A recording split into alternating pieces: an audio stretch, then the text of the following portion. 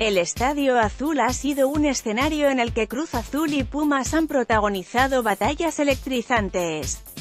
Sin embargo, este sábado podría ser la última vez que ambas escuadras se enfrenten en el inmueble de la Ciudad de los Deportes.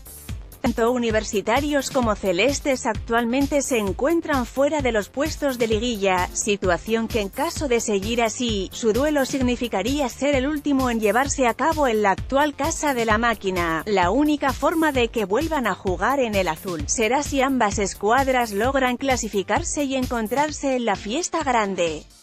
Innumerables directores técnicos y jugadores son los que han estado presentes en dichos enfrentamientos, pero solo algunos son los que han quedado para el libro de récords.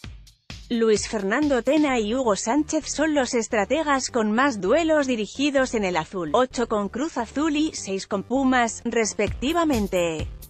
Ante la posibilidad que existe de que se vea por última vez la rivalidad entre celestes y auriazules en el azul, Pedro Caiciña mencionó que su equipo encarará el partido con vital importancia debido a que hay muchas cosas en juego.